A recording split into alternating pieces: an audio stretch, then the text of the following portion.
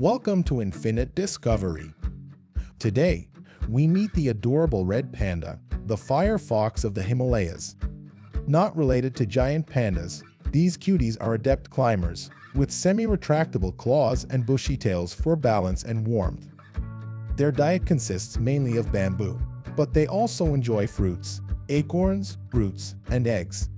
Unfortunately, habitat loss and poaching threaten their existence. Let's learn and do what we can to protect these lovely creatures.